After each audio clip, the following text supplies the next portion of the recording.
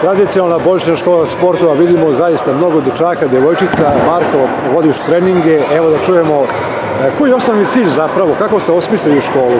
Pa osnovni cilj je da deca budu zdrave, da se bave sportom i da je e, sport u Pirotu što masovniji. Znači, to je najbitnije, da deca hodaju normalno, da drže pravo leđa, da, da se lepo osjećaju da budu srećni na smenu. Karate i judo kao tehnike, borilačke veštine to mogu i kako da pruže? Pa mogu i tekako, rade se vežbice za celo telo, e, kompleksne su vežbe, znači kreće se od nogu, ruku, celo telo, trbuks, znači leđa, sve se radi tako da deca se fantastično razvijaju i posle toga mogu da nastave bilo koji sport ili da ostanu u našem sportu.